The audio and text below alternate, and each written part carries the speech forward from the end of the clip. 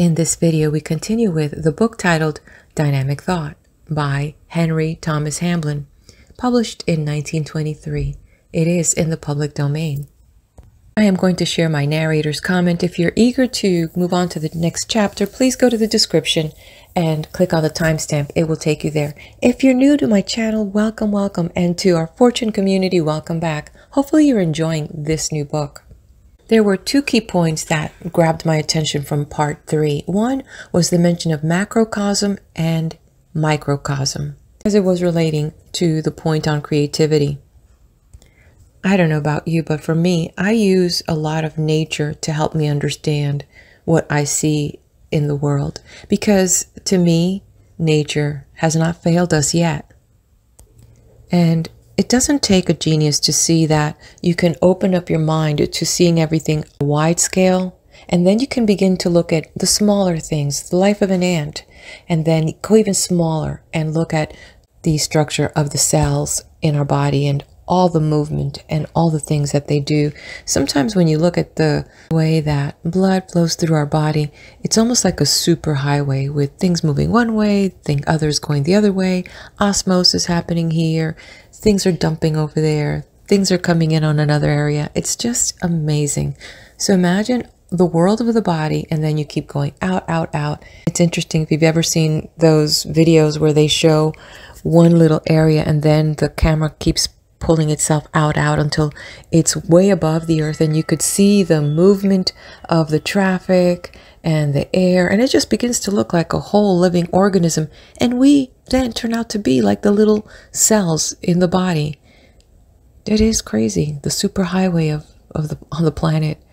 Which brings me to the conclusion and i agree with the author that just as the infinite mind is absolute through the whole universe then we too are kings of our life. We are creator of our life and our circumstances. Now, the second point that I thought was interesting, worthy to share with you, was when the author mentioned that nothing has ever been accomplished by man that has not first been created and imaged in his mind. And this is worthy of repeating and sitting down with this and contemplating on it and just really letting that sink in because the truth will set you free. Seriously, look around you. Look at anything, whether it's a door, a chair, a car, a building. Someone thought about that. Someone had that design in their mind. And yes, there was an energy that worked with the next step of making it a reality, attracting the right people, having the right skills, and everything else. But the point is, it comes first in the mind. And because it's in the mind, it does not make it not real. It's real to whoever is imagining in the world of the mind. And the more that we focus on something, the more we begin to project it out into the world. This is my belief. Here's an example. I'll tell you the color red as far as, hey, have you seen any red cars lately? All of a sudden now, your mind is beginning to imagine red cars. And so you're heading over to the store or to the warehouse or to your favorite restaurant, and all of a sudden you see one red car a second red car. And there are all these red cars that are now visible to you. Before, you were oblivious to them. You weren't paying attention. It wasn't important. But now it was brought to your attention and you allowed it to rest in your mind and it just became a part of the conversation in your mind.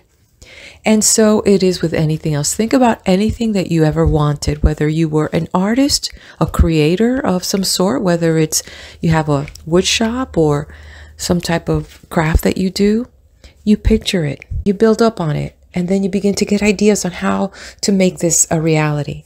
This also works with anything else and everything else.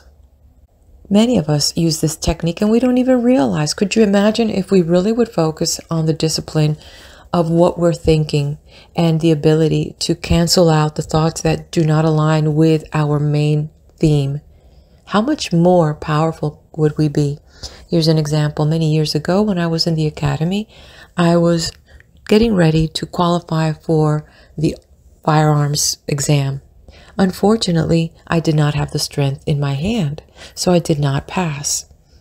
One of the instructors said, Daisy, all you need to do is pretend you are squeezing a lemon.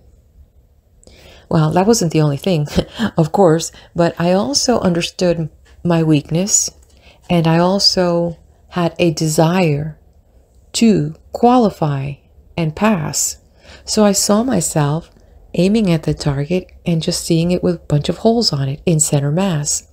And I actually trained my arms, my hands specifically. And when I went to pass the exam, I did pretend I was squeezing a lemon, and it was the most effortless thing. And I received my marksman certificate. So that's just one instance. I mean, I've had a very colorful life, and there are many things that I have achieved through the sweat of my brow, but also on that aspect of the unseen realm. Having faith that what I'm moving towards will meet me at some point in the future. And just letting it go and just moving forward and living this moment. I'd love to hear your stories of things you've achieved, whether you think it's small or large, it doesn't matter. It's the same energy that we're working with, right? And the same process. Okay, let's move on now to part four. We now have to deal with that part of your mind which is the center of all action and the seat of all memory. Not only the memory of this life, but the rare memory of all mankind. This division of the mind we will call the subconscious mind. We will do so in order to distinguish it from the mind of creation, intuition, and inspiration, which we have already considered, and also from the objective or conscious mind, which will be described later. The subdivision is not orthodox according to the ordinary teachings of psychology. The usual practice is to term the whole of the submerged mind subconscious. That this is not correct must, if we think for a moment, be apparent. The subconscious mind acts only according to instruction and instinct. Thoughts and commands flow from the seat of the will through the conscious mind down into the subconscious mind and are immediately acted upon. The subconscious mind is a blind intelligence. It cannot reason, it can remember, it can act, but it cannot think, plan, or reason. Yet we have a mind within us that can inspire, create, and bring forth the most wonderful thoughts. A mind which can solve our most complicated problems, that can guide us through the most difficult situations if we will but trust it. This cannot be the subconscious mind because we have already seen that this is a blind intelligence acting only upon instruction, suggestion, and animal instinct. Therefore, there must be a mind or minds other than the subconscious, and this I have termed, for the want of a better word, the subliminal. The subconscious mind is a kind of a sleepy giant or a slumbering volcano. It only requires arousing to cause it to manifest extraordinary power. It is a vast and wonderful intelligence, so wonderful that our consciousness cannot form any conception of its wonders. All that we know is that this wonderful center of life and action is as far above our understanding as our own consciousness is beyond the comprehension of a beetle. Yet this subconscious mind of ours is subject to our will and guidance. Within us is this wondrous power, the almost infinite intelligence, yet its use and control are in our own hands. Unto us is given the ability to govern a power whose extent we cannot gauge, to direct an intelligence so great it is impossible for us to grasp its full significance. The subconscious mind is the center of all action. It is by this mind that everything that we do is accomplished. It is the personification of tireless energy. It works constantly. It never sleeps. For while we sleep, the subconscious mind is busily engaged in repairing and rebuilding the body. Whatever thought we allow to pass into the subconscious mind is translated into action. This is why a thought has been described as an action in the process of being born. The great lesson for you, dear reader, to learn is this that if the subconscious mind translates each thought into action, then thought control is the one great transcendental fact of life. If you possess the power to control your thoughts, you have at once the power to control your actions. If you can control your actions, what a life of possibility opens before you. One of the principal causes of failure in life is due to inability to control the thoughts. Wrong thoughts reach the subconscious mind. These are translated into wrong actions, and these bring failure and disaster in their train. When the thoughts are uncontrolled, then the subconscious mind will act upon any thought or suggestion that may float in. Now, thoughts and suggestions are born not only within the consciousness, they're also received from without. Like a wireless apparatus which receives messages through vibrations in the ether, so does the human mind receive impressions from without. Thoughts are things, are entities, have form and substance, and are eternal. Thoughts impinge upon your consciousness, and unless you are able to reject them, they will enter the subconscious mind and bring forth action in your life and conduct. If therefore the thought be evil, then evil will result. If of weakness, then failure will follow. You cannot prevent the action once you have entertained the thought. In the same way, if you entertain a noble thought, a noble action will result. If thoughts of success and power are dwelt upon, then success and power to accomplish will be manifested in your life and circumstances. It is thought that rules your life. Therefore, if you govern your thoughts, you control your life. Suggestion meets you at every turn. Kind friends, with the best of motives, suggest ill health to you when they remark on your pallor. Their well meant remarks of how ill you look send a suggestion of sickness to your subconscious mind, which later manifests itself in real sickness in the body.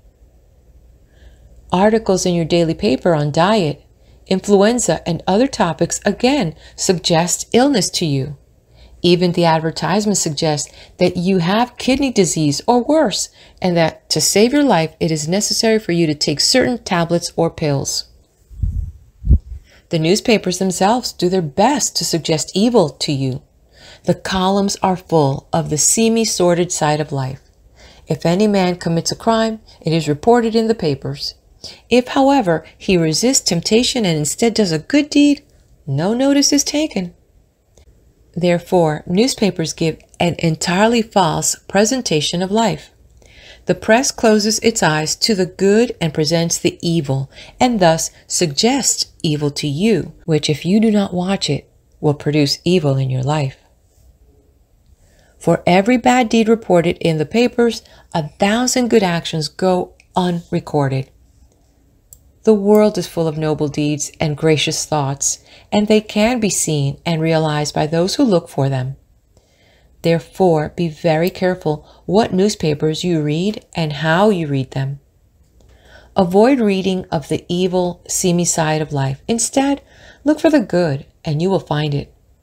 When reading your paper, devote your attention to the large things, those which will go down in history. Avoid that which is mean and petty. Thus will you avoid unwholesome and dangerous suggestion. Newspapers, periodicals, and some books would have you believe that life is an unlovely thing. Even some hymn writers have dared to describe the world as a vale of tears and life as a long drawn out woe. Do not believe these wicked suggestions. Life is a gracious and lovely thing. It is full of beauty and love and peace and happiness. Life is what we make it. We can make it sublime or we can make it savor of hell. It is in our own hands. Therefore, do not read either papers, books, or magazines that do not present life in a joyous and optimistic way. Avoid low class, scrappy reading. Read instead good books by great minds. Imbibe noble thoughts. Read good poetry if you can. Seek the beautiful, the noble, the true in your reading and in your fellow men, and you will find them and be richly blessed thereby. How then, you ask, can I escape all this harmful suggestion? I am conscious of evil in my life. I do not know what to expect next. How then can I cast out evil and avoid all these harmful suggestions that impinge upon my consciousness from a thousand different sources? The answer is by denials. First of all, I want you to understand that your life consists only of that which is in your mind. Your world also is really nothing more than a reflection of your own mind and what is in your own mind. It is because of this that two people in precisely the same circumstances will each find life and the world very different. One will see in life great joy and much cause for thankfulness, and the other may experience only unhappiness and disappointment. The difference is not in the circumstances, but in the mind. The mind is the real thing, the world is transient and fleeting and has, philosophically speaking, no real existence, but mind endures. The natural or mortal mind view of life and the world is almost always the exact opposite of what is the real spiritual truth and fact. Metaphysics tell us that the visible world is an inverted reflection of the real. If then it is inverted, it is natural until our spiritual or inner eyes are opened to the truth for us to see things as the exact opposite of what they really are. Therefore, it is not surprising to find that whereas the mortal or animal mind of the senses thinks the world is the real thing and the mind only a shadow, the real truth is that mind and spirit are real and eternal, and the visible world but a transient and impermanent thing which has no actual reality. Such being the case, then, the only thing that really matters is what is in the mind or what is not in the mind. If we have a belief in evil and thoughts of evil in our mind, then we have evil in our life. If, however, we can cast the thought of and belief in evil out of our mind, then it will cease to appear in our life. By raising ourselves above the sensuous life and realizing our permanent world of mind, and there denying evil, poverty, failure, pain, sickness, unhappiness, or whatever our trouble may be, we kill the thought which is the cause of all our troubles. Then whatever we affirm will take their place. If we deny evil, then we follow by affirming good. If we deny sickness, then we affirm prosperity and affluence. By denials, we can take out all the evil, care, fear, and worry out of our lives and build up in their place by means of affirmations, perfect good, success, affluence, happiness, health, love, peace, and courage. Everything being in the mind, then everything that is taken out of the mind is taken out of the life, and everything that is put into the mind comes into the life. Thus, it is possible with mathematical accuracy and certainty to recreate the life, to cast out all the undesirable, and to build up in its place only the beautiful, the good, the true. Life is what we like to make it. We can make it like heaven itself, full to the brim with all that is good and beautiful, or we can turn it into a perfect hell. Therefore, do not accept the suggestions of those who, having failed in life, proceed to call it hard names. We can make life a continual joy. We can create a heaven within us by the quality of our thinking and mental processes. All that we see in life, all that we experience, yeah, even life itself, is but the outward expression of the life within. The life within is built up by our thinking. You will have seen by this time the purpose and value of affirmations. Affirmations are concentrated thoughts. Back of each affirmation is a strong emotion, and this gives it tremendous driving force.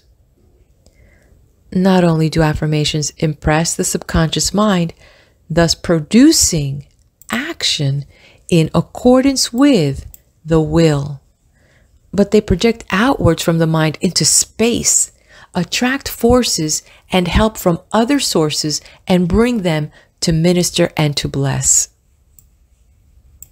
Not only so, but they also arouse the subliminal mind to inspire, to create, to impart wisdom. By the use of affirmations, all the finer forces are aroused to action and the life is transformed from weakness or ineffectiveness to strength and purposefulness. By the use of affirmations, the will is strengthened until it becomes so strong all else has to bend to it. By the use of affirmations, the body is strengthened and made healthy, and exercise and body culture becomes a pleasure instead of a duty. By the use of affirmations, difficult tasks and unpleasant duties become easy of accomplishment.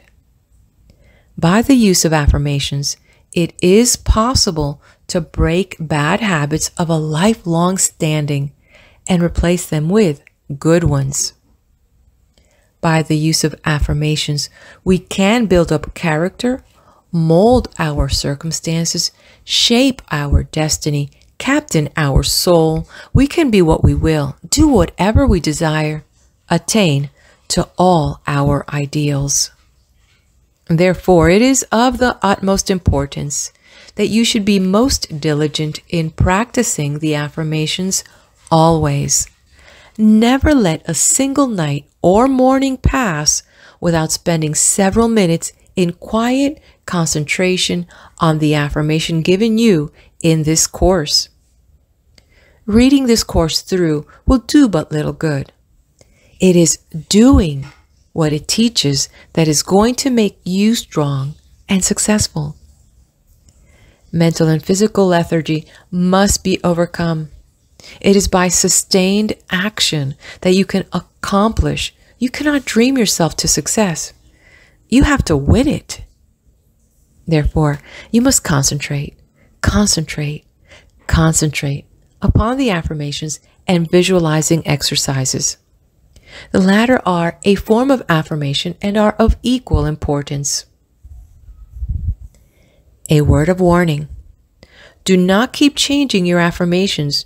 Do not affirm one thing one day and another the next. It causes confusion in your mental world and makes confusion worse confounded in your life. Of course, as you overcome weaknesses and bad habits, you will alter your affirmations accordingly. You will always find some defect that wants eradicating. Otherwise, keep to the affirmations given in these lessons. By this, I do not mean that you are not to make denials, reversions, and affirmations at all times adapted to all the varying circumstances and difficulties of life, because these are for your own protection necessary. Thus, if you see a sight that suggests evil to you a drunken man, an act of hate, a quarrel, an act of immorality, or if you read that which is lowering and depressing and suggestive of lower things, then, for your own protection, you must reverse it.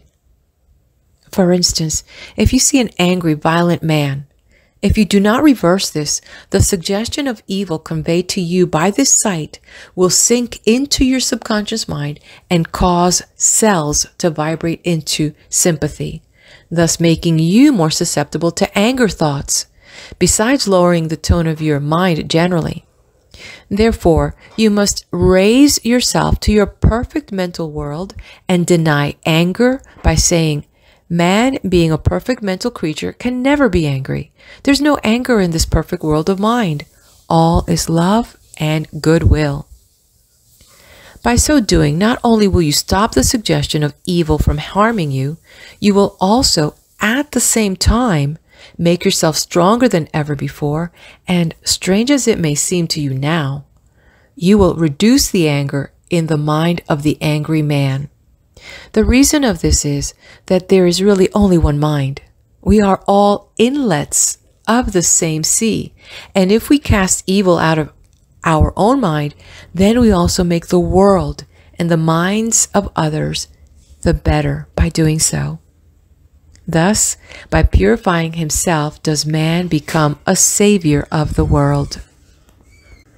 These reversals of denials and affirmations made in your perfect world of mind must be taking place all day.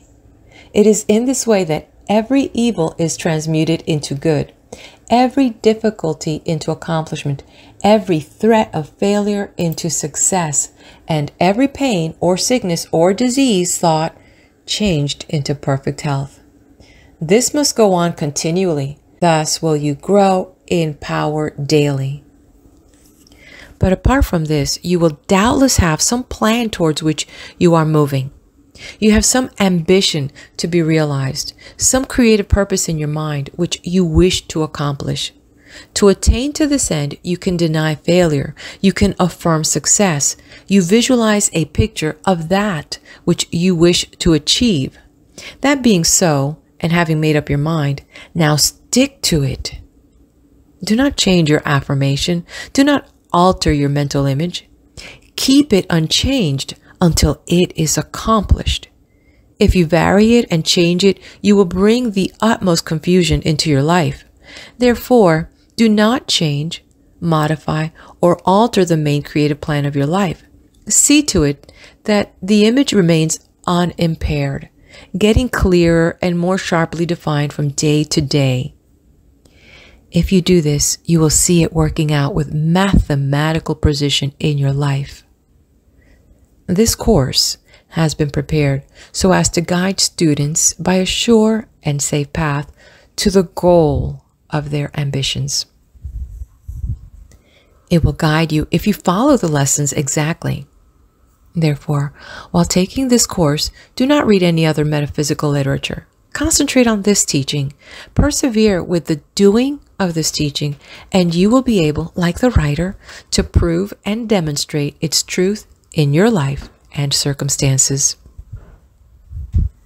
I want you to start seriously to develop your visualizing powers. By this, you will improve your memory out of all knowledge, but that is quite a minor matter.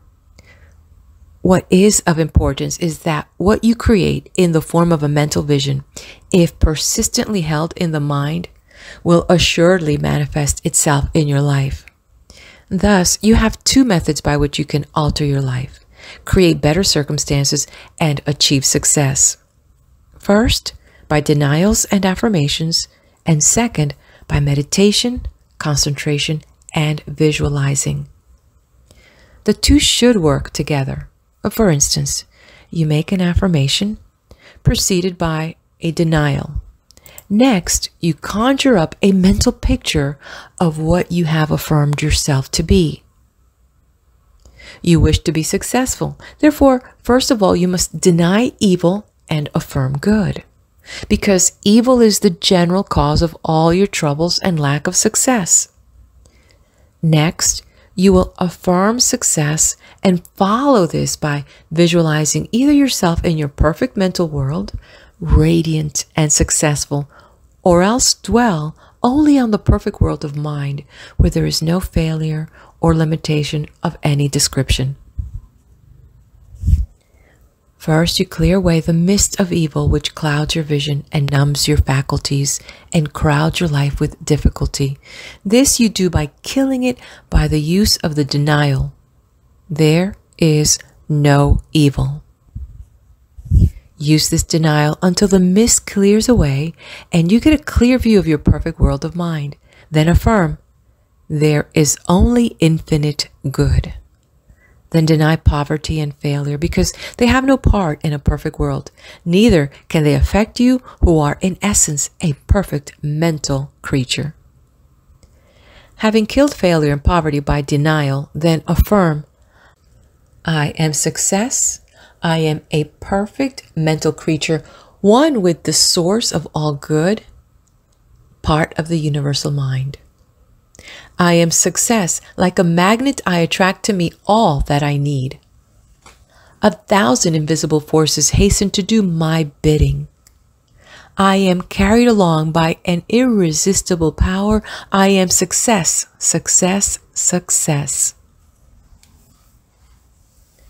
Make this affirmation preceded by the denials night and morning, always making the affirmation in your perfect mental world Buttress it up by repeating it during the day, each time raising yourself to your higher world. Do this, and you will revolutionize your life. In order to increase your powers of mental imagery, do the following exercise. Take a simple flower or picture and gaze at it very attentively for several minutes.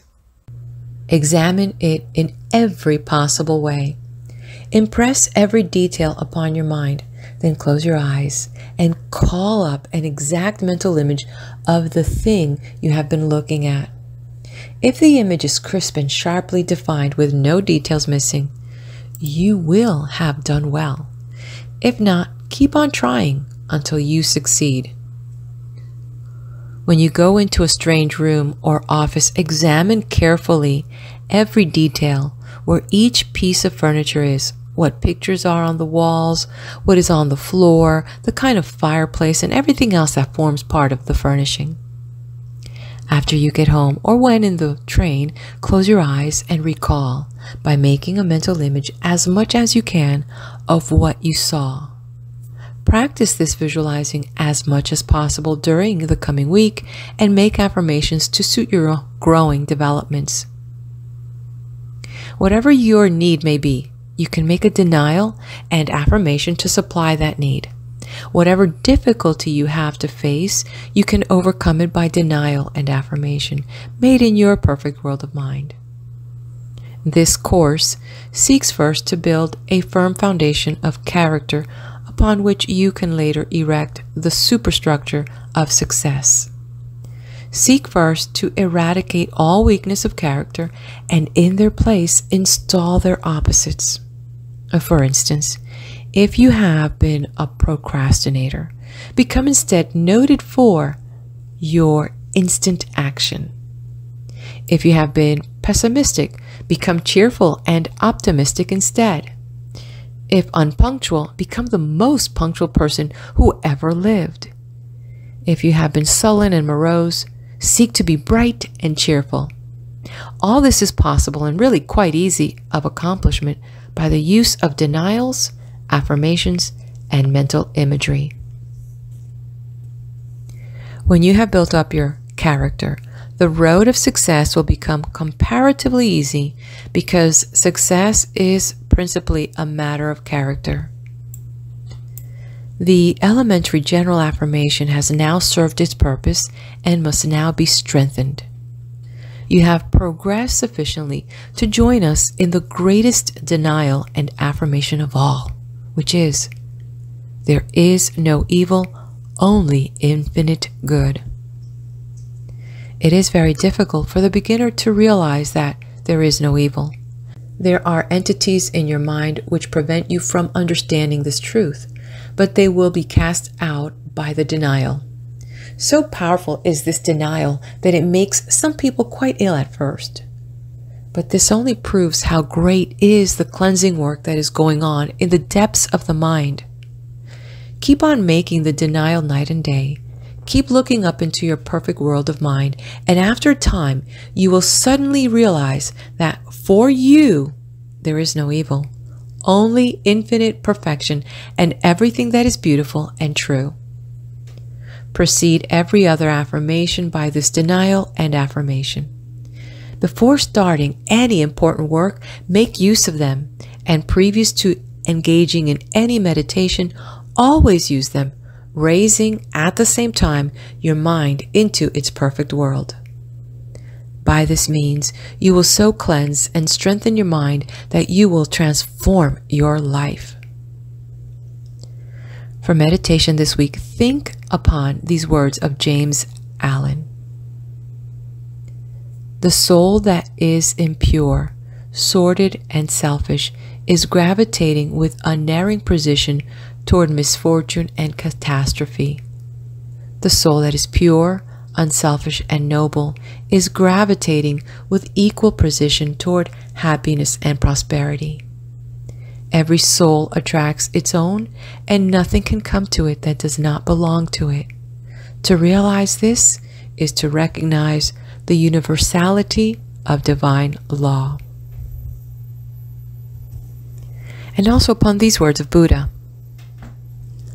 All that we are is the result of what we have thought. It is founded on our thoughts. It is made up of our thoughts. And again, these further words of James Allen Your own thoughts desires, and aspirations comprise your world, and to you, all that there is in the universe of beauty and joy and bliss, or of ugliness and sorrow and pain, is contained within yourself. By your own thoughts, you make or mar your life, your world, your universe. Appendix